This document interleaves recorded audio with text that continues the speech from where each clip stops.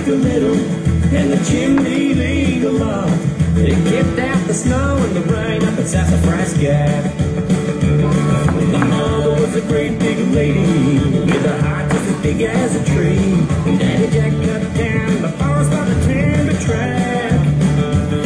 But she taught us all our lessons, taught us how to read and write. And she tucked us into bed